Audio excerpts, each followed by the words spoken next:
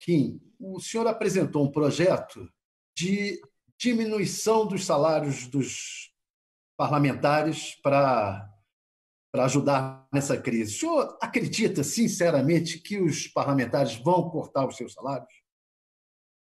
Eu acho que vai chegar num momento, Thales, em que inevitavelmente a gente vai ter de falar de corte de salário no funcionalismo público. Agora, os parlamentares podem ter receio dessa discussão, uh, podem ter medo de, de sofrer ali com pressão de corporações, de sindicatos, porém, a previsão até do nosso secretário do Tesouro, né, o Mansueto, é de que o nosso déficit primário vai ser de pelo menos 350 bilhões de reais. A arrecadação do Estado de São Paulo nas últimas duas semanas caiu em 50%. É, a gente está falando do Estado mais rico da federação já no mês que vem, atrasando e parcelando salários do servidor público. Você imagina estados como Rio Grande do Sul, Minas Gerais, o Rio de Janeiro, é, numa, que estão numa situação fiscal muito pior do que a do Estado de São Paulo, como é que a gente vai fazer com o salário do funcionalismo público? Meu projeto não trata apenas de, não trata apenas de deputados, mas de todo o, o poder legislativo. Né? E acho que isso deveria se estender ao poder judiciário e poder executivo, só que no caso, eu como deputado não tenho a, a, a prerrogativa de apresentar salário, é, projetos para corte de salários do judiciário, por exemplo. O próprio judiciário teria de tomar essa iniciativa. Mas nós vamos ter de falar em corte de salários principalmente ali de quem ganha acima do teto do INSS. Quem tem salários acima de 6 mil reais, nós vamos ter de falar de cortes inevitavelmente, porque não vai ter dinheiro para pagar. Né? Eu acho que essa é uma discussão que agora alguns parlamentares colocam, não, mas está jogando para a torcida, é demagógico.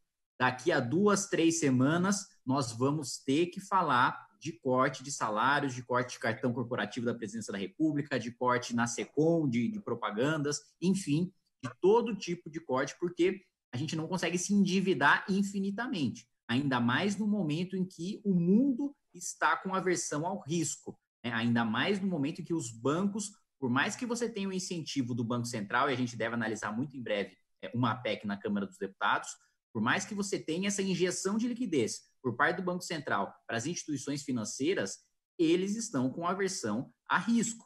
Né? É, essa, é, essa movimentação financeira principalmente é, com base em títulos desses bancos que vão ser adquiridos temporariamente aí por um ou por dois anos pelo Banco Central, esses títulos não vão garantir a liquidez necessária ou suficiente para que a gente consiga manter o nível de gasto público que vai ser necessário para a saúde e para a manutenção da própria estrutura da máquina pública nesse ano. Então, acho que a gente vai necessariamente ter essa discussão. Se o corte vai ser de 20, 30, 40, 50%, essa é uma discussão política que a gente vai ter futuramente, mas eu acredito, pelo que a gente tem visto dos números de arrecadação e de despesa, que cortes no funcionalismo público vão ser inevitáveis. E nesse sentido, eu acho que o presidente da República também dá sinais de incoerência. Que ao mesmo tempo que ele fala em gripezinha, em resfriadinho, em ter porte de atleta, ele também pede permissão para o Congresso Nacional e para o Supremo Tribunal Federal para desrespeitar a lei de responsabilidade fiscal. A gente aprova a calamidade pública justamente para ele não ter que cumprir é, a meta é, é, fiscal desse ano, mas ao mesmo tempo ele diminui a crise falando que não é um, um, grande problema. Bom, se não é um grande problema, em primeiro lugar, ele não precisaria ter mandado é, o pedido né, de decretação de estado é, de calamidade é, para o Congresso Nacional. Né? Então, acho que você tem uma atitude que é incoerente, ao mesmo tempo, um discurso é, irresponsável, né, é, incentivando a população a ir contra a política do seu próprio ministro, do seu próprio ministério, a ir contra a política da Organização Mundial de Saúde, e ele precisa definir a linha do seu governo. Ou ele tem o mesmo discurso do ministro da Saúde, ou ele manda o ministro da Saúde embora e substitui. Né? Não dá para ele ter dois discursos ao mesmo tempo, não dá para o governo adotar uma linha Paulo Guedes está falando em isolamento, Mandetta está falando em isolamento, Tarcísio está falando em isolamento, e o presidente da República está falando o pessoal ir para a rua. Precisa ter uma linha única de governo. O presidente precisa liderar e também precisa levantar essas preocupações e enviar projetos para que os cortes necessários estruturais da máquina pública sejam feitos e a gente não se endivide além da conta. Concordo plenamente com o que o Randolph colocou, de que a gente precisa ter é, um colchão de assistência social baseado na renda mínima, que é inclusive é, foi não foi idealizado, mas foi sistematizado e consagrado pelo Milton Friedman, o maior expoente aí da escola de Chicago, no livro Capitalismo e Liberdade, que ele consagra esse conceito de renda mínima como um programa social mais eficiente. Acho que a gente precisa fazer esse gasto público agora, mas ao mesmo tempo a gente precisa é, sempre lembrar que dívida no longo prazo, endividamento público, quem sempre paga é o mais pobre, porque o imposto no Brasil é baseado no consumo, né? o imposto no Brasil, quem mais paga proporcionalmente ao salário é o mais pobre, e esse imposto é utilizado para pagar dívida pública. Eu quero discordar parcialmente é, do deputado Kim, com todo respeito.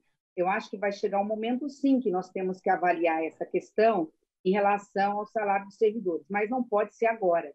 É, eu estou com a PEC emergencial, por exemplo, parada na Comissão de Constituição e Justiça, justamente porque se tivéssemos aprovado a PEC emergencial que o governo federal disse agora há pouco, que era das reformas a mais prioritária, praticamente metade das medidas do governo para conter essa crise de epidemia, ela não poderia ser utilizada. Da mesma forma, lá estabelece um corte é, de salários de servidores, não só federais, mas estaduais e municipais. Deixa eu dizer só o que eu acho que nós podemos fazer antes, deputado Kim, porque eu concordo parcialmente com a sua fala. Antes, tentarmos mexer com o salário de servidor, que vai ser muito demandado, principalmente o da saúde, da segurança pública e o da educação a médio prazo, assim que as escolas voltarem, para correr atrás do prejuízo, e essa massa representa a maioria dos servidores, principalmente estaduais e municipais, nós temos sim que falar em corte de salário é, dos parlamentares. Nada impede que nós possamos votar imediatamente um projeto é, cortando até o final do ano 30%, 50%, cada um pode estabelecer um critério dentro da sua renda. Tem gente que depende do salário, pode ser não ser o meu caso, mas pode ser de um colega, nós podemos até estar definindo isso. Eu concordo, tem o meu apoio, mas antes de falarmos de corte de servidor, nós temos que falar do fundo eleitoral, nós poderíamos estar cortando em pelo menos 50%, já que a eleição esse ano pode ser mais curta, se é que ela vai acontecer em setembro, eu estou apostando mais que ela aconteça mais no final do ano.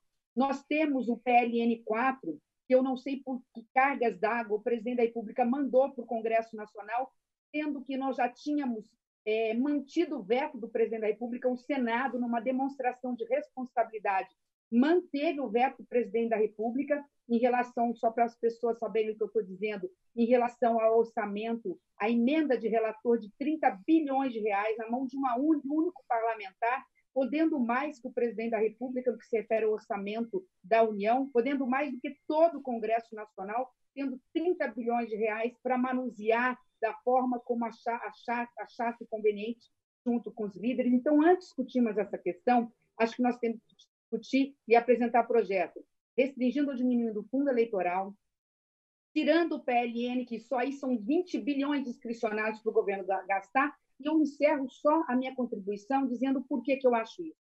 Nós temos uma média de, vamos, vamos colocar redondo, 600 mil servidores federais. Quando você fala em cortar, de acordo com o teto do, do INSS, vamos colocar aí 4 mil reais, é, há quem diga que quer, querem cortar 10% de quem ganha até 10 mil reais. Fala assim, poxa, 10 mil reais bruto é muita coisa. Não é tanto assim porque é bruto. Se você colocar aí líquido, cai muito. Se você tirar 10% de quem ganha 10 mil bruto, você está falando de tirar mil reais. Estou falando de 600 mil servidores se metade desses servidores tiver uma única diarista na sua casa, e tem, porque esse servidor tem condições de pagar uma diarista, tirar mil reais dele, ele vai imediatamente onde ele vai cortar? Ele vai cortar o custo de inglês do filho ou ele vai dispensar a diarista? Então, nós podemos estar falando aí de pelo menos mais 300 mil pessoas desempregadas. Então, acho que é recessivo neste momento você falar de corte de salário de servidor que ganha abaixo Acima você pode até discutir a médio prazo. Mas, enfim, desculpa essa colocação, é porque eu tenho uma emenda, inclusive, na, na PEC emergencial, dizendo que quem tem que cuidar do servidor estadual e municipal são os governadores e prefeitos. Não é responsabilidade do Congresso Nacional legislar e interferir na autonomia de estados e municípios que refere à redução de salário de servidor estadual e municipal. Era só essa colocação que eu queria fazer nesse momento. É, eu concordo que a gente tem que mandar todo o fundo eleitoral para o combate ao coronavírus, a dos 30 bilhões de emendas de relator para o coronavírus, mas nesse sentido a gente está falando aí de 32,5 bilhões de reais. É, é, a folha do funcionalismo público, a gente está falando de 928 bilhões de reais. Esse sim, com a capacidade de ter um impacto fiscal, principalmente para a ajuda dos mais pobres, muito melhor.